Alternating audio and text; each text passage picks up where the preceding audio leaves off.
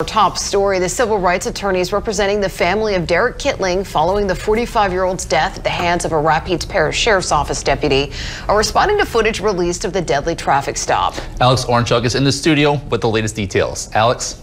That's right. Yesterday was the first time we were able to see the footage of the traffic stop, giving us some insight into Derrick Kittling's final moments. We'll show you some of that footage in a moment, but first we will hear from civil rights attorney Ron Haley, who is representing the Kittling family alongside Ben Crump. Haley claims that the footage shows the deputy is the one who escalated the situation, leading to the death of Derrick Kittling. This situation was provoked solely by Deputy Anderson. It wasn't even a situation to de escalate. It wasn't even a situation that called for that. It, it, called for common sense. It called for some basic manners. It called for basic instruction. And listen, I understand that Deputy Anderson is a is a young officer, but he has seven years of experience. Seven years of experience. And, and this is the result of, of that experience. I mean, this was this was ridiculous. Crump shared in part, quote, this confirms what we had suspected from our initial review of the facts. Derrick's killing was unwarranted and completely un completely preventable. We believe that Deputy Rodney Anderson profiled Derek from the moment he initiated this out of jurisdiction traffic stop for window tint in a modified exhaust. The footage from the stop came yesterday when Louisiana State Police Superintendent Colonel Lamar Davis was in Alexandria sharing body and dashboard camera video from the deputy as well as one video from a bystander who recorded the incident. For those that haven't seen the footage, we're going to replay it now, but we want to warn you this video may be considered disturbing to some viewers. That, right there. That, right here, to the truck. At 1:18 p.m., the RPSO deputy, now identified as Rodney Anderson, pulled Kittling over, and just 3 minutes later at 1:21, Kittling was dead. The video shows that when Kittling is stopped, he gets out of his truck. From there, Deputy Anderson gives Kittling multiple commands. To the back of your truck. Show me, keep your hands out your pockets. Put them on the, walk to the back of your truck. When Kittling complies, he's approached by the deputy behind the vehicle. Here's what's said between Kittling and Deputy Anderson. Huh? What's the issue? Because you act, you agitated, you turn around, you ain't following I, nothing. I am following. Look, I, turn. I, don't hear you. Turn. Can I get my phone, sir? Uh, we'll get to that. Just turn and face the truck. Turn and turn face, and face the what? truck. I, what I Face did? the truck. Kittling asks why he was pulled over. Deputy Anderson does not ever reveal why during the stop, but state police shared this during its briefing. The officer reportedly pulled Mr. Kittling over for a um, violation with this window tint and modified exhaust. Back to the video where the confrontation escalates. What is wrong with you? Why Face is you the truck. grabbing on me, man? Give me a unit. Why are you Face grabbing on me, truck. bro? Turn around and put your hands behind your back. At this point, Deputy Anderson is holding both of Kittling's arms until he reaches for his taser. That's when Kittling grabs the deputy's arm that's holding the taser and also reaches around Deputy Anderson's back, with both men falling to the ground. From here, it's difficult to piece together exactly what happened, but according to the state police's description of the incident before this footage was played, quote, during the struggle, the deputy removed his taser from his left side and lost control of it. While the taser was on the ground, Kittling was able to retrieve the taser, end quote. A lot happens before Deputy Anderson loses control of the taser, though. Let's break it down. As soon as the pair is going to the ground, you can hear the sound of the taser deploying. At this point in the video, the taser is still in Deputy Anderson's hand and you can see the taser wires indicating the taser has been fired. But was anyone hit when the taser deployed? Here's what Colonel Davis had to say. Was Kittling actually tased before he was shot? Uh, actually, we are in the process of determining that. We can't say for certain that he was actually tased or whether the officer was tased. As the struggle continues, Deputy Anderson let go of the taser. It's then that Kittling picks up the taser and the device again starts going off.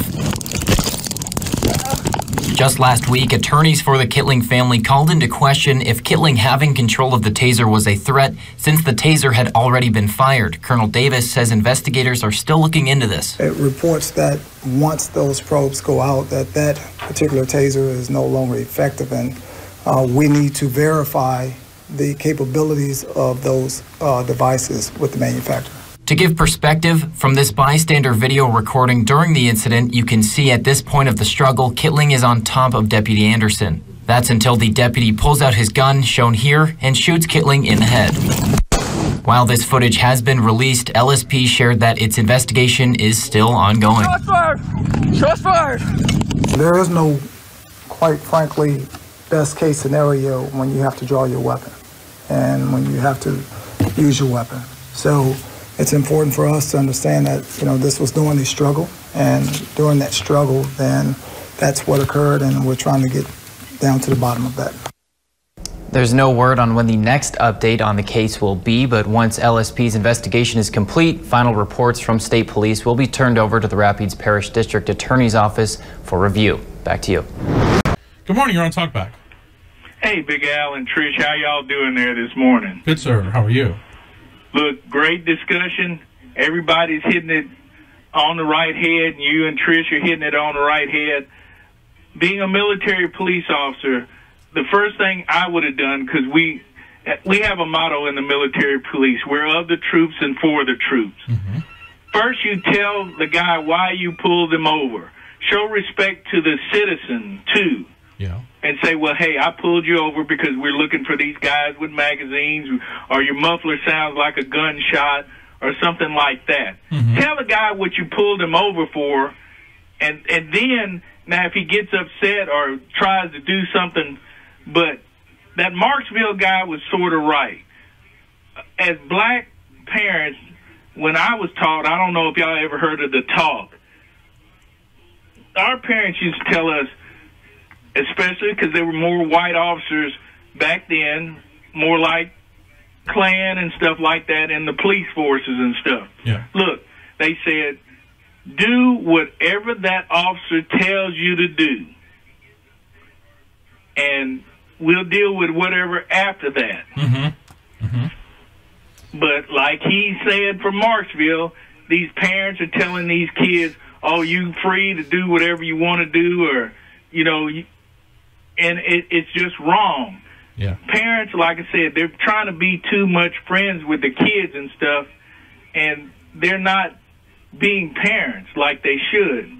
And there, there's just no discipline. But I wish police and he seemed like he was a young officer. He didn't seem like he was a veteran or anything. Because, like I said, I would approach this situation, like I said, well, Mister, I pulled you over because we are looking for these kids with these magazines, and your muffler or whatever sounds like a gunshot or whatever, mm-hmm. and this is why I pulled you over. But I want to say something about Dave's right, and you're right, and Trish. These people like Benjamin Crump and Al Sharpton and all the rest of them, they want to divide the country and create chaos.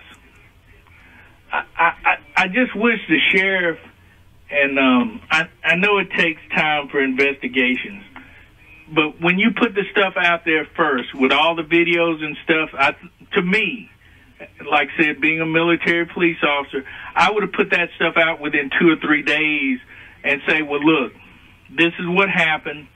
This is the situation. Not wait two weeks because see, all that stuff builds tension. You got one radio man talking about, you know, trying to gin up the community to do something and stuff like that, and that that's just wrong. And that that's what divides the community too. And I try to tell one of my white friends what it's like to be black, and he doesn't he doesn't understand. Right. And I, I like you were saying, uh, the black caller used to call the show. I don't know if he's still alive or not. When Bob Madison was there, he was driving while black. He would be pulled over just because he was black, Right. Right. and that's wrong. Right. But we have more black officers now, and we need more black officers. And I tried to tell another white friend of mine that too, but he says, "Oh no, it doesn't matter what color the officers." I said it. It does to a certain extent, because everybody understands wherever they came from, white or black. You understand wherever you came from. Sure. I, and I, I appreciate the points you're making. Um, you know, I think even for sometimes the black officers, they still endure the same treatment. Uh, right. You know, probably. That's another thing. They in the community, just like you said, Big Al about the music. Oh well, you're a traitor, you're a sellout. Mm-hmm. Because I'm a Republican too. Uh, the Democrats that are black, oh, you're a sellout, you're a traitor because you're Republican and conservative. Well, that's fine. But I know what the Democratic Party did to uh, black folks and what they wanted. They wanted to keep slavery and stuff. They didn't stop slavery till the Civil War. I just wish Reconstruction had went the way it was supposed to go, but it didn't, and it took another hundred years for things to try to work out right. Cornelius, thank you for the call. We right, appreciate it. thank you. We need to take a break. We got some more callers on the line. If you can hold, we'll come to you right after this.